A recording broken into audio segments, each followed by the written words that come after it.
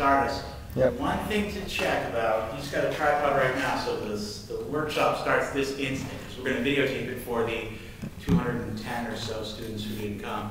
Uh, so they'll get a chance to watch it, but it's more boring to watch on video than to be here live. So thank you all for coming.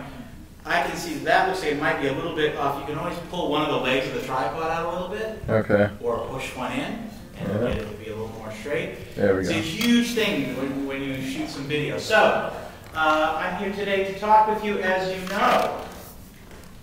And that's true, talk with you and shoot some video with you. Uh, from shooting to sharing, video and music education. Uh, there's also a handout that you have that preserves the key points and hopefully gives you a little bit of uh, help. You can take some notes on there.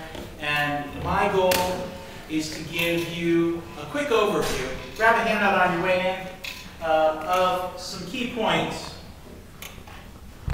Here they are. We're going to talk. Ooh, no, there we are. Here we are. We're going to talk a little bit about shooting video and some tips for shooting video well. Doing a good job, getting some footage that you're going to want to watch on somebody else. We'll talk a little bit about uh, your responsibilities. This is a big issue, of course, the ethical dimension of taking video of somebody else's kids and what you do with it and how you handle it. We'll talk uh, briefly about sharing. We'll talk a little bit about some tools that I think are useful and helpful, and of course, uh, hopefully helpful to most of you, some selected vendors, because like anything else, there's deals out there, and there are a couple of places that have wonderful quality equipment or have fantastic uh, prices. Good quality, good prices, and or both. And I threw together a quick little screen with a couple of video uh, images on it that you can see, just to get a, a sense of some of the things that with video. Obviously, uh, on the bottom, we've got a ukulele play along that I shot last week. Uh, actually, Glenn is a cameraman on that. And we'll have a chance to look a little bit at this. This is one of the bonus uh, aspects of this is now that lots of you have cameras, you can actually shoot something with more than one camera and very quickly and inexpensively assemble that footage together. Uh, so that's one of the things that we'll look at. And uh, on the top right, you can see uh, some classroom footage. That's what a lot of you will be using the camera for. Shoot footage when you teach, when you do any demonstration teaching, maybe when you go out and have an early field experience, depending on the situation, when you're a student teacher, and then you're going to take that skill out with you when you become a teacher because the most powerful uh, means that we have to better understand how our teaching works and what it's like to be in our own classroom is to get it outside of that experience and to get to see it through video. So that's why we believe strongly enough that owning a camera is a professional requirement at this point. Having the ability to shoot something. And also have the ability to shoot and share the work that your students do, their performances, share that with them.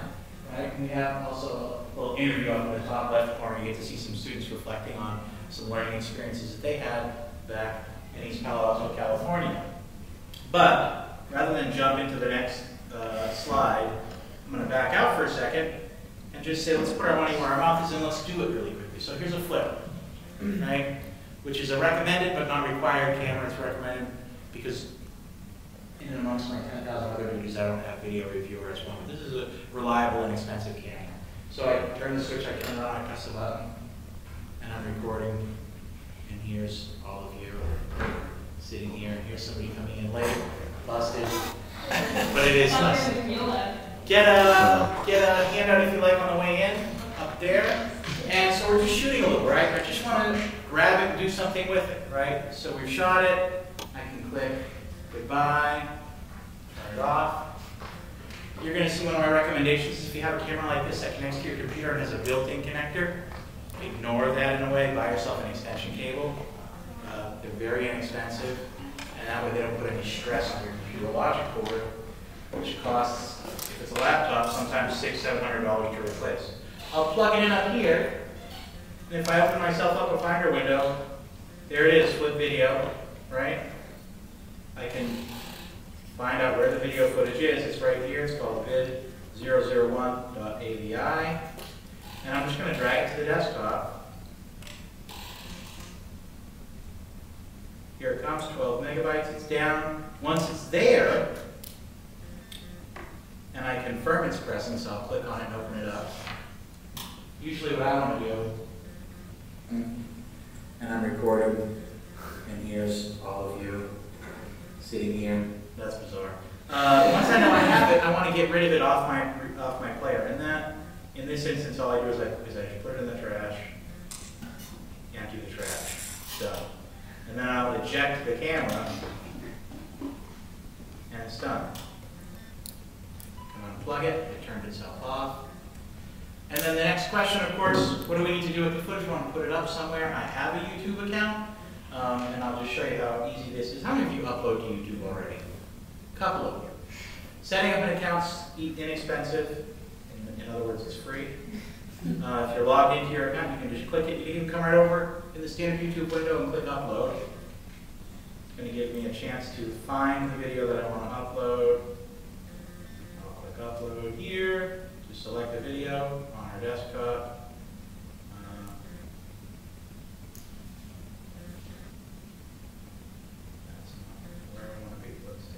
Here we go.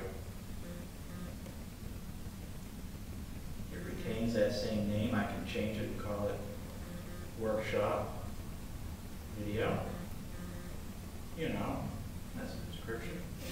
And I'm gonna, there's a default privacy setting, right? I'm gonna choose private, and I'll click save. Now my stuff is there, my video has been uploaded successfully. We're on YouTube, right? And one of the things we'll note if we go to the My Videos section, it hasn't come up yet. Down here it says uploading processing, please wait. Something to realize is that YouTube always shows you a video with one certain format. Right now I think it's Flash. Or no, it's not Flash. It's, maybe it's uh, MPEG-4. Or it's, I have no idea what it is. It is Flash. And uh, having it up there in Flash, it always is going to re-encode what it is. So we're almost with video back in that age of the cassette tape. Of, I made a tape of a tape of a tape. I started with video that was already compressed from the flip, and then it gets recompressed to go up on uh, YouTube. And there are a couple of ramifications of that, one of which mean we have to wait a little bit for the video to get up there. Um, but it's coming.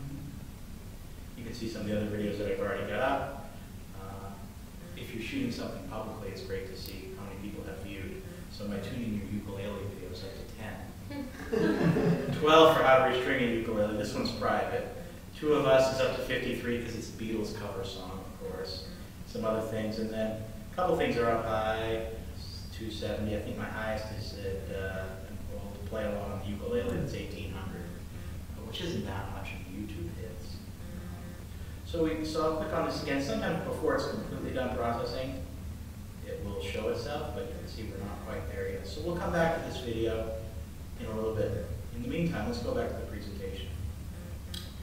Uh, in addition to shooting video of our teaching and our own learning and capturing performances and stuff, you can make your own instructional content like the ukulele stuff I just saw. Here's one of our master's students from last year, Chris Cayari. He made uh, short set of solfege videos that just show how to sing a scale and use the Kodály hand signs. Uh, very simple, very easy. He posted them on a site called SchoolTube, which is YouTube, but it's moderated so that you know footage can't get posted and it's not in, you know, then schools don't block it, things like that. But it's a nice way to get your ideas, your teaching, and your name out there uh, Chris Cayari did this as a summer project in a class that I have, a master's class. The next week, I think it was three days later, uh, you can see on the pink down there, it's hard to really read. This is a great instructional solfege video with hand symbols. Learn how to sing a major and natural minor scale. This is a, an MENC member email that went out to probably 90 to 120,000 people and featured Chris's video four days after he made it. Um, of course, not everybody looked at it, but just to imagine that, you know, you yourself can make a little something, can illustrate something, can share something, put it up on the web, and the next thing you know, have lots of attention for the teaching that you're doing is wonderful, you know. So it's another thing.